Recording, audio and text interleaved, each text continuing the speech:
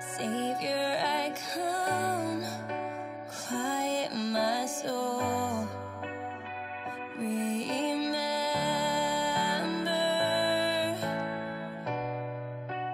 redemption's hill, where your blood was spilled for my.